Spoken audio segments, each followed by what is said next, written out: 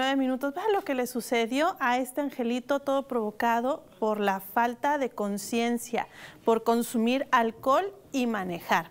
Resulta que tuvo un accidente en la madrugada de esta jornada en el distribuidor vial El, Zarape, justo en los deprimidos eh, de, este, de este distribuidor.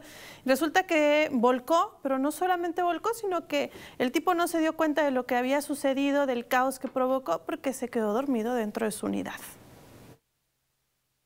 La madrugada de este jueves, un automovilista ocasionó un accidente y volcó en el distribuidor vial El Zarape al conducir en estado inconveniente, por lo que fue detenido por las autoridades. Fue minutos después de las 5 horas cuando Héctor N., de 26 años, transitaba por el periférico Luis Echeverría en un Chevrolet Aveo e ingresó al paso a desnivel que conduce al Boulevard Fundadores. El conductor de un Volkswagen Bora aseguró que el señalado se desplazaba a exceso de velocidad por detrás suyo y lo hizo impactarse contra el muro al esquivarlo. Posteriormente, el joven perdió el control de su vehículo, el cual volcó, por lo que la situación fue reportada a través del sistema de emergencias 911. Personal de tránsito municipal arribó al lugar para tomar conocimiento, percatándose de que el hombre se encontraba dormido en su automóvil, además de que presentaba aliento alcohólico, por lo que lo pusieron bajo arresto. El túnel permaneció cerrado la circulación durante algunos minutos hasta que los vehículos involucrados fueron retirados. Con imágenes de Eric Briones, informó para Telezócalo Augusto Rodríguez.